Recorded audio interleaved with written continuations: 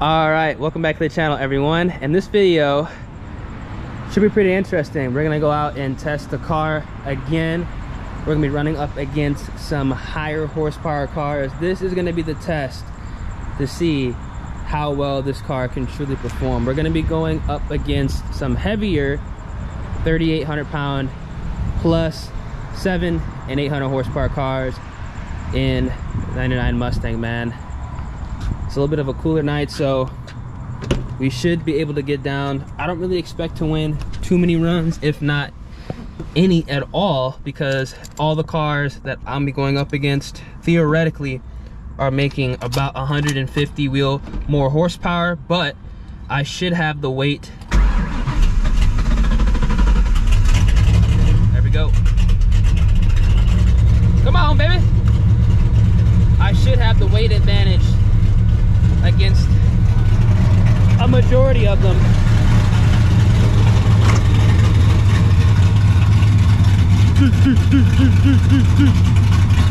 So if you guys enjoy the content of the channel, make sure you guys drop a like, subscribe to the channel, turn on post notifications. I'll pick up the vlog. God damn! I'll pick up the vlog when I get to the spot and uh, we'll see how this car does, man.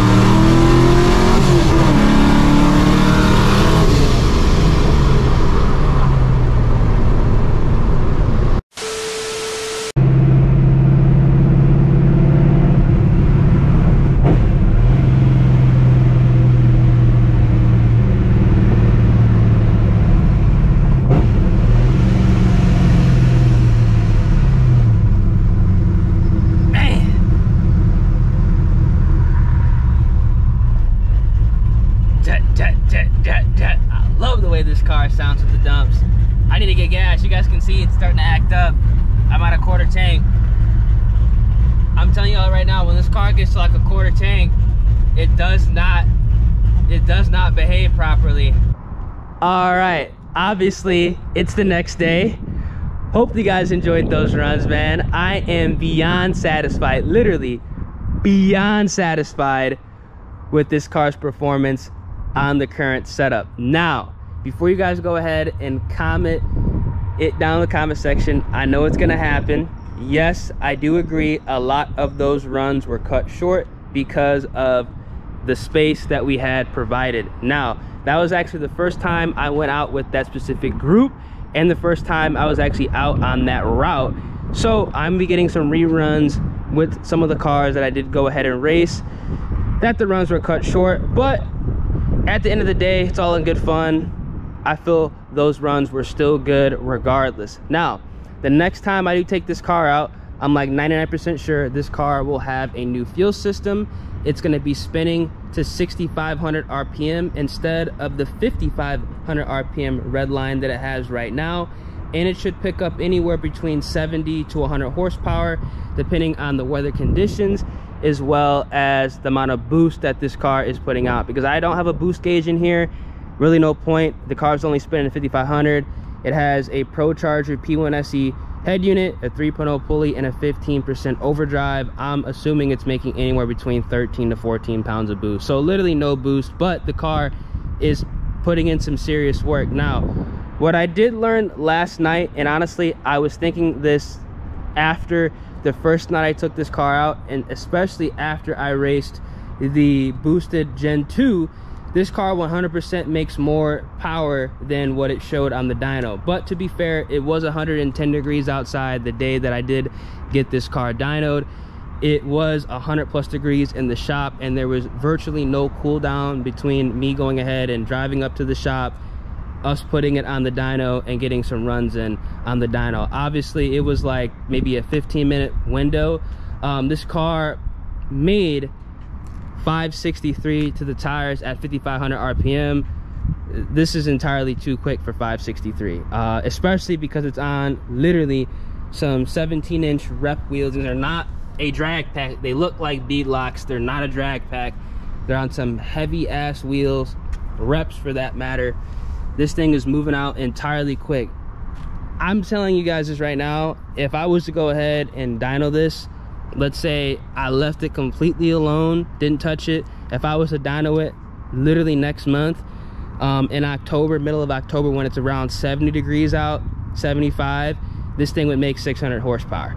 It's entirely too quick. The fact that it was able to pretty much beat that gt500 i mean obviously the GT500 would have passed me up because of the current rev limit but 563 versus a GT500 just off the hit there's no way that this car should have been ahead. I should have got destroyed. So I know this thing makes at least 600 wheel.